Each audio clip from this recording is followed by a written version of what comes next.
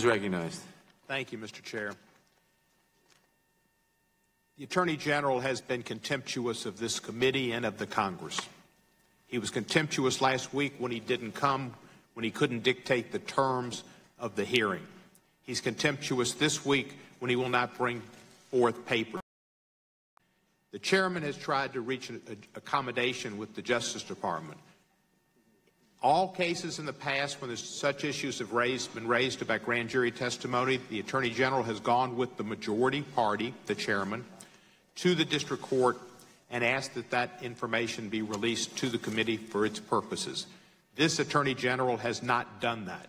If he would have done that and tried to make a reasonable accommodation to join with us in going to Judge Howell, we might not be in this situation. But there's been nothing reasonable from this Attorney General. Mr. Sensenbrenner talks about people on the periphery. We don't know who those people were, but we know that Bill Barr decided who was testimony, which testimony would be redacted because people were on the periphery and to protect their reputations.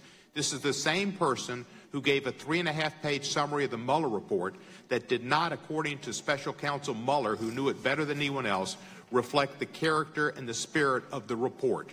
And he knew Mr. Mueller objected to it for not being an accurate representation of his work, and yet he did it. And when asked about it by Mr. Crist in committee, he had no idea that Mr. Mueller or anybody in the Mueller special counsel investigation would have objected. That's not true. He lied when Mr. Crist asked him that question. That's beyond contempt. That's a lie. So we're depending on Mr. Barr's determining who was on the periphery and what their reputations would suffer. We're talking about the opportunity for Congress to do its proper oversight as described in, in, Article 1 of the Constitution, which is being trampled upon.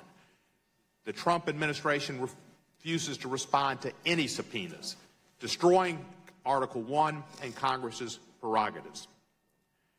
Now, we had a question, I think it was uh, maybe the ranking member said, legislation and how many signatures, how many bills have been signed into law by this committee.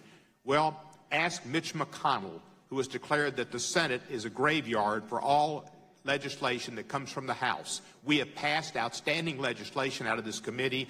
It's gone to the graveyard. Where Mitch McConnell, who first kills Supreme Court nominees of the last president of the United States in his one year before and voids and frustrates the constitutional prerogative of the president to nominate members to the Supreme Court, but now frustrates the other House by not having hearings whatsoever.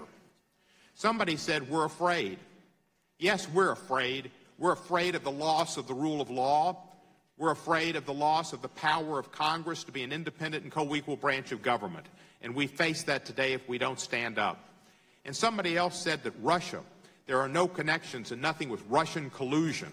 Well, the Mueller report said there was sweeping and systematic efforts by the Russians to influence our election, and they were done so to help Trump.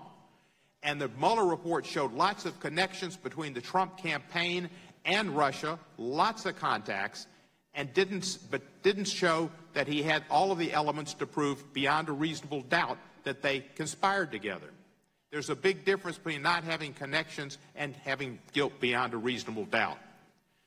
Then Mr. Trump gets on the telephone with Mr. Putin and has a 90 minute conversation or something like that where he can see on a phone call that he smiled at him and he gets flattered and never broaches the subject of Russian interference in our next election or Russian interference whatsoever. That was one of the prime parts of the Mueller report that the Russians interfered and that our intelligence officials had confirmed and told us and that our FBI has told us and that we know they did it in 20 and they're going to do it more in 2020. But our president did not even mention it to Mr. Putin. That is scary. We are afraid of interference in the 2020 elections, and we need to be. And we need to be because we've got a man who has been suggested might be financially dependent on the Russians.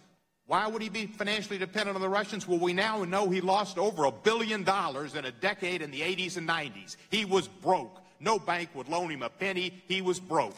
And if it weren't for him being president, he'd be in prison with Michael Cohen today as individual one, and he obstructed justice as the Mueller report says it so, we are in danger. We need to respond, and we need to act for the people of the United States of America.